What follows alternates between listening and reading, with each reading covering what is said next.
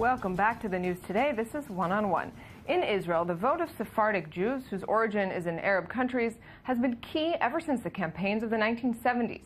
The first time the right wing Likud party won the elections in 1977 was attributed to that Sephardic bloc that saw the ruling Labour Party as biased towards them. Still today, it's in the background of elections, this time less than two months away. And tonight with me is Dr. Yifat Bitton, founder of Tmura, the Israeli Anti Discrimination Legal Center. Dr. Bitton, thanks very much for being with me. Hello, good evening. So, from the outside, maybe even from the inside, when we think of discrimination in Israel, I think a lot of people think more towards the divisions between Arab Israelis and Jewish Israelis. But within Jewish Israelis, also in Israel, along ethnic and religious lines, there are a lot of different divisions. And you've been outspoken on how those connect to politics, which is extremely relevant right now. How do you see those as playing a role in the Israeli political system? So, first of all, I'll start with a starting point, which is that this is something that is not at all known, um, you know, outside the boundaries of Israel, but also inside Israel. You opened your um, uh, remarks saying that, you know, Sephardic Jews used to have a lot of influence and they are uh, a key, um, um they play a key role in in establishing the uh, um, political uh, political situation in Israel. But this is something that is completely not discussed um, when we get to to uh, thinking about politics in Israel. Only recently, mm. um, another uh, uh, poll was taken as to their influence on how Sephardic the political, influence. yeah, the Sephardic influence, um, how it has been played out after 77, when you look at some of the parties that were um, really, uh, you know, at government, government such as uh, uh, Kadima, for example. Uh, I don't know how to say it. It's like Kadima. It used to be uh, Ariel Sharon's going party. forth. Yeah, going forth.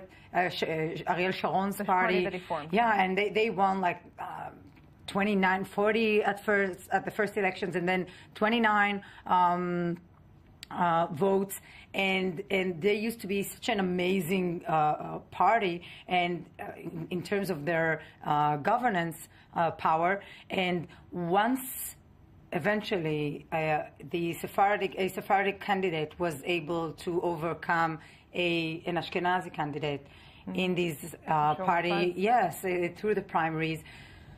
Actually, they, they, she, she left after that, and, and they lost. They almost completely lost in the next elections. They won only two votes, and, and, and the poll uh, indicated that only 4% of Ashkenazi voters of that party voted to that candidate I for the same party, the these- same, you know, politics, Right. the same ideas of So, looking at maybe the evolution of that, if we see most of the polls tend to show that Sephardic voters would support the Likud in past years, at least, the, the more right wing Likud party. But yet, the Likud hasn't had a, a, a Sephardic leader, whereas the Labour Party, on the other hand, has had a couple of them. How do you explain that twice? Uh, well, it's very complicated because also when you look at you know at these leaders, Sephardic leaders in the in the Labor Party in Israel, they weren't very successful and they were not leading the party. Yes, they were not leading the party the party through election times, um, and they lost on their next next uh, chair uh, term. So. There's no sense of, of Emil real did sort of lead during election times. Yeah, So but- for him, for the for the yeah, but then he but then he lost. So this the, the sense doesn't is stick? exactly. It doesn't stick. And also Why when is that? And when Peres lost to Amir Peretz, again we see the same uh, pattern of behavior, leaving his his mother party to. To um, you know, to join Sharon, so you can say, okay, there was you know a, a feeling that this is the right thing to do for everybody to ga- to gather around Sharon. But at the same time, you see a pattern here once the Sephardic leaders manage to climb up the ladder to to lead the, the There's a- a party, there's, of sorts? there's a flight. There's a flight. So do you attribute that to discrimination, to a problem from within that sector of society, or or both? What why what's the reason behind that? I think that, you know, uh, again, as the numbers indicate, also with Peres and Peretz, you could see that in most of the kibbutzim, where you have mainly uh, Ashkenazi uh, um, communities, Peres won 68% of them, of their votes. Whereas Peretz used to be himself a you know, someone who grew at a kibbutz and incorporated all of their uh, um, um, theories and ideas about about social democracy and. You know, it, it, was really amazing to see how they are not willing to accept so him as one of their go own. further? For the Likud, for example, which polls as recently as 2013 showed a very strong support among Sephardic uh, voters for the Likud.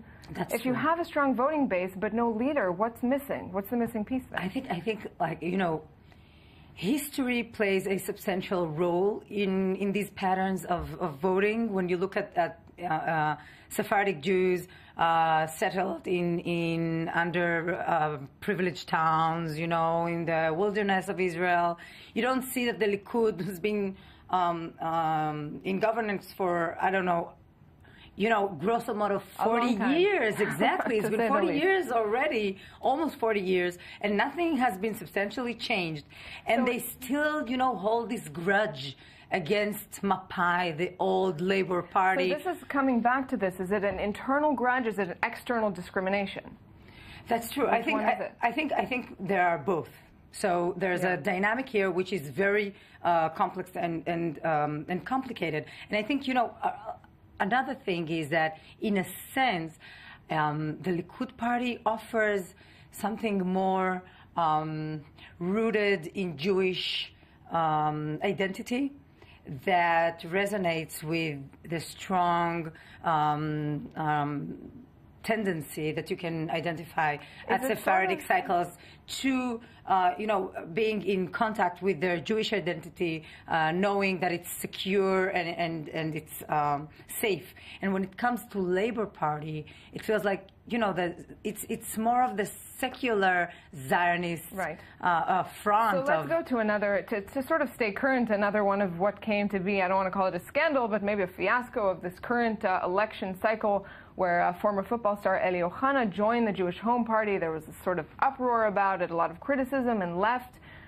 How do you explain that? Do you see that as uh, was it right for him to join, for Naftali Bennett to to accept him in there? Was it wrong with, for him to leave? So let's start with Naftali Bennett. Was that the right thing to do? So as far as he's concerned, you know, Bennett, he, he just couldn't understand what the whole hustle is about. Like he did the right thing. The right thing, as far as he's concerned, is to to bring in someone who will represent a segment of society that is traditionally neglected and definitely within the uh, um, the uh, uh, you know secular Zionist uh, uh, national group is there of people. by the sort of the settlement movement, the, the far right settlement movement there? Definitely, definitely. As someone who's coming from a family who made the, the shift from you know an underprivileged town to a settlement, as by the way, as one of the reasons is, was definitely, um, you know, getting to, to some kind of, of, uh, of welfare type of welfare state that that was there much more than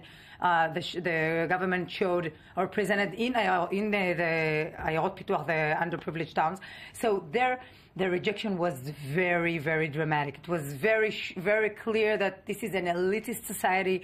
I grew up, you know, studying in their educational system. It's a highly segregated and, and and discriminatory system. Because we don't have a lot of time, I want to take you then from this, which obviously very, very deeply ingrained problems here, and Israel has no short of, uh, shortage of issues to deal with, to resolve these internal divisions just within the Israeli Jewish society in the short time we have left, what needs to be done? Whose responsibility is it? I'll tell you what it is.